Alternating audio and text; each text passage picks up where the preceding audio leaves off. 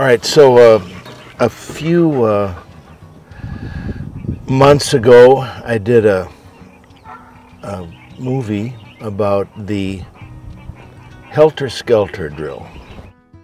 And um, since then, I've decided that it's way more important than I made it seem like.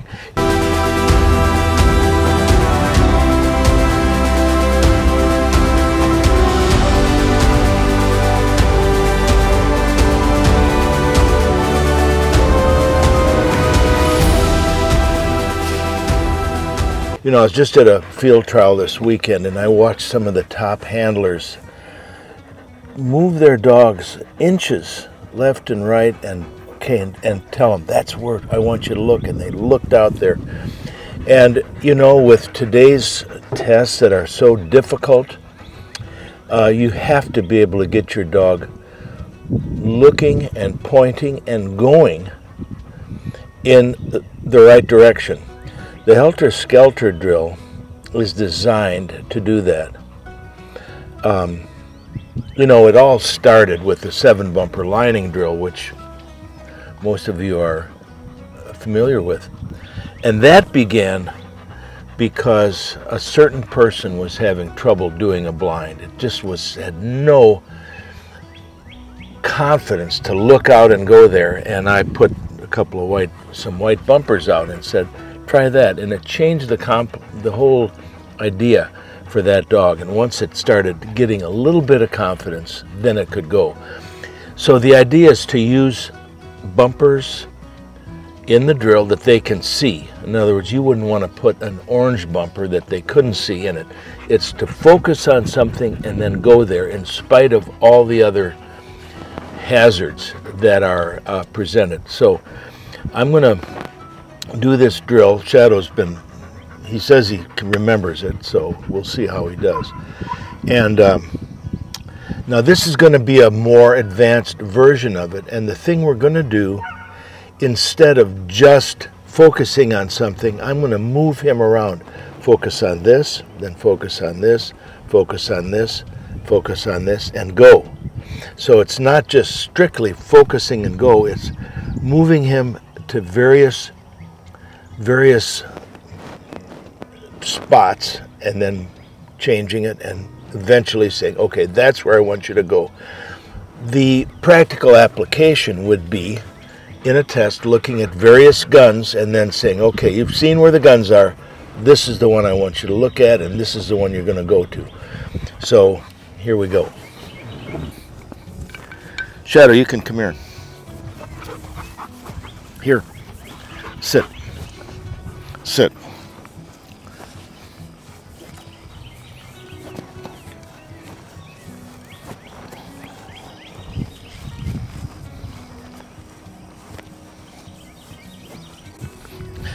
It's very important that the bumpers are visible. Otherwise, we're just testing instead of teaching. We want, we want the dogs to be able to actually see where they're where they have to focus and go.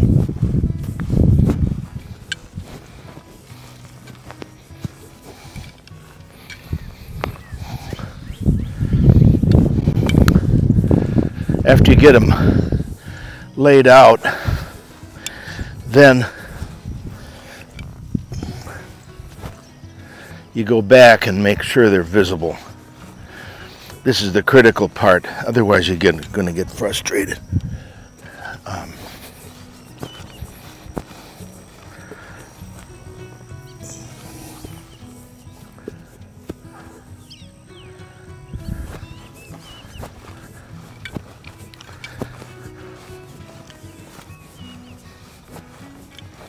This is the hard part.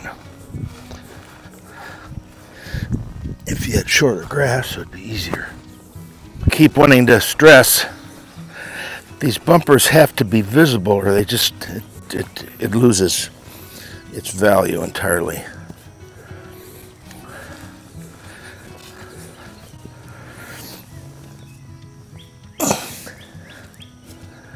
Now what you'll be watching is I'll be lining him on one, moving to another, then moving to another, and then picking one and, and getting it and past all the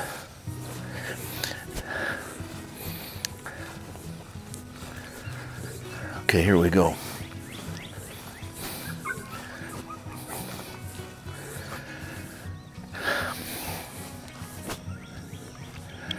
Heel. So I'm gonna look here at this sit first white one right there. Good. Good. Heel. Sit. Good. Here. Now I'm going to go right between these and get the long one way out there. Ready? Back.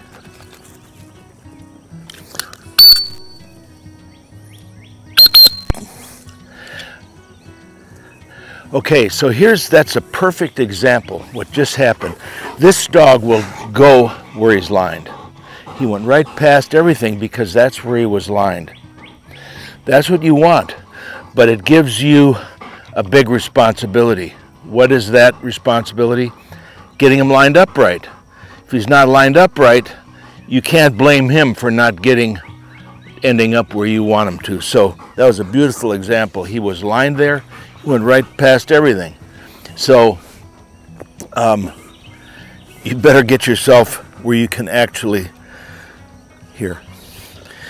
Now I'm gonna focus on this little short one right here. Ready? Good. Come here. Sit. Here. Here. Here. Back. Good. Okay. Now you have the option of putting these back out or just eh, picking them all up and throwing them behind you in a pile. But for the time being, I'm to throw these out. Now I'm to line back up on the one I just picked up. And then I'm to do the little short one right here. And then I'm to do the one between. Come up, sit,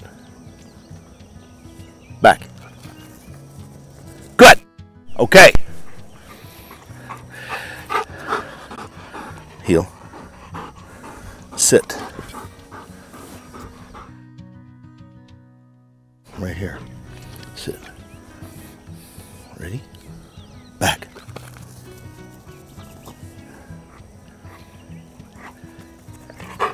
Sit.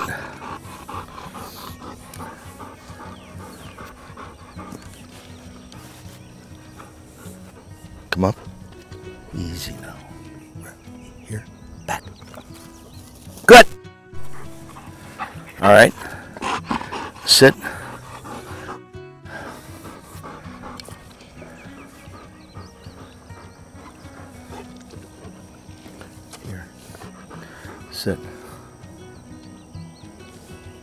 Back. Good. All right. Heel. Sit.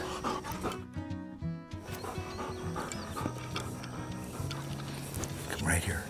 Right here. Fetch. Good. there you go. All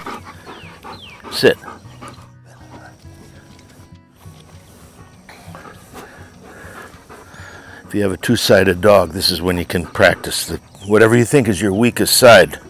Do more of that. Here. Here. Sit.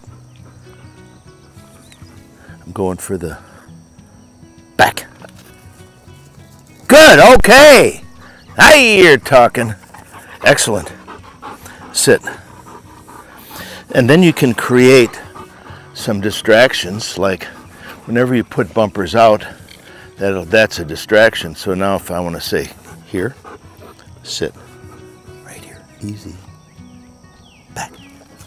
Good. now you're talking. Sit. Sit.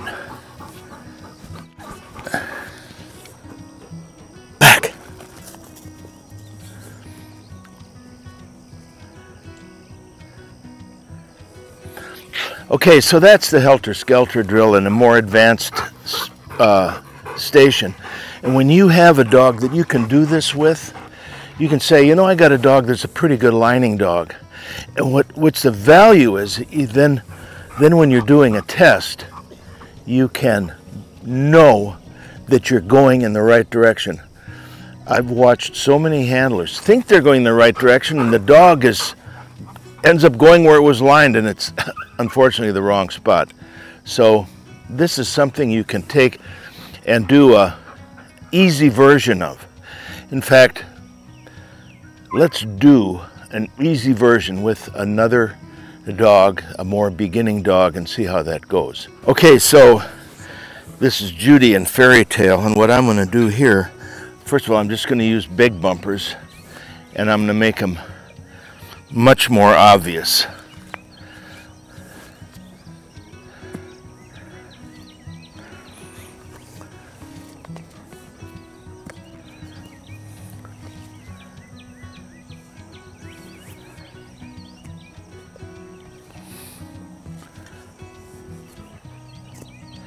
and not quite as long. The idea is to get started so the dog understands what's what's going on. Now, when you're first starting out, you can move your line a little bit. You're trying to make it clear to the dog exactly what you're trying to do. So, to start with, come over here, Judy, and you, with with her. Okay. Heel. Now focus on this short one first. Okay. And pay attention to her al- total alignment. It's not just where they're looking, it's where they're. Okay. Now switch her all the way to the far left one and get that one. Ma- move her body around so she's lined up right. Okay, get that one. Good. Okay, this is either the one of the first times that this puppy has tried this drill, so we're not trying to get absolute perfection. Okay, now focus on this short one again.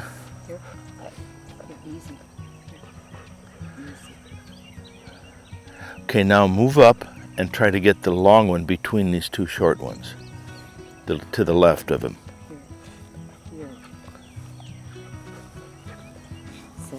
Over there, the one towards the tree. Oh, in the middle.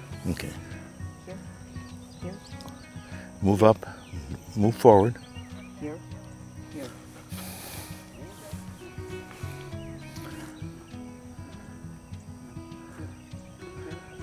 If you run into difficulty, just move forward. Don't, don't.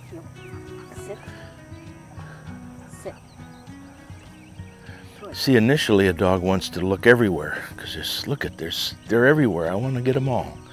But the idea is to get the one that you want to get, and you have to be the one that decides that.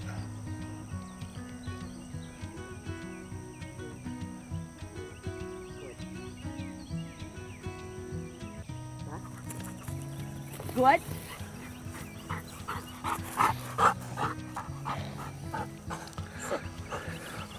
Okay, I'm going to throw this out where that one was.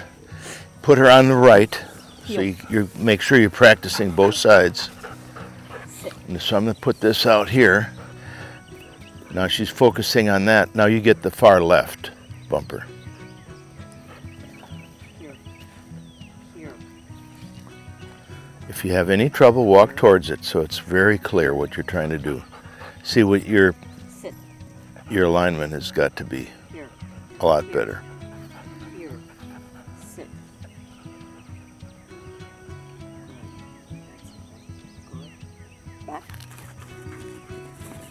Good.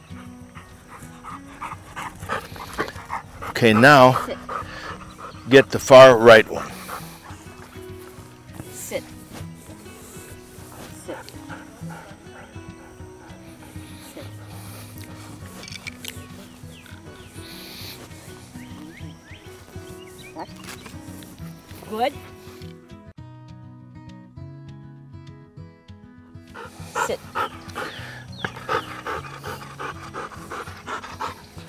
I'm gonna throw this over here. Now you get the long one in the, in the middle between these two short ones, okay. Here. Sit. Here. Here. Sit. If you have any doubts, move forward. Buck. Good. Good. Heel. Okay, now see if you can get the long one between these two short ones. Sit.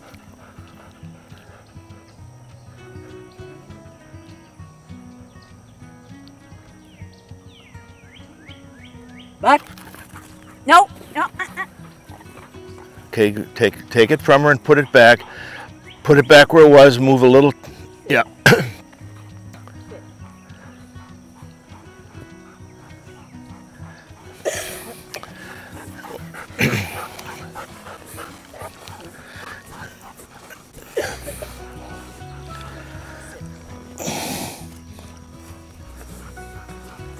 Make it clear what you want.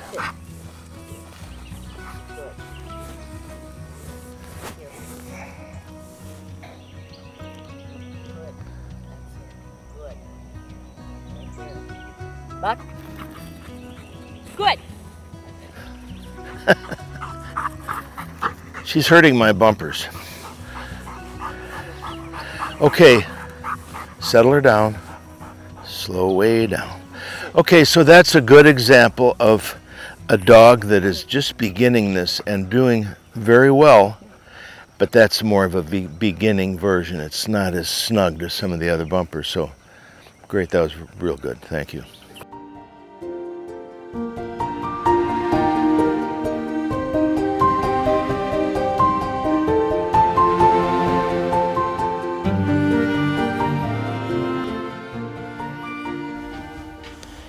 Have I not commanded you?